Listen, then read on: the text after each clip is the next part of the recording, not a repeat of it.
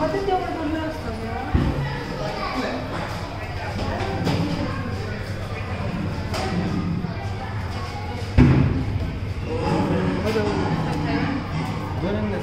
De soğanı alıyor. Bak.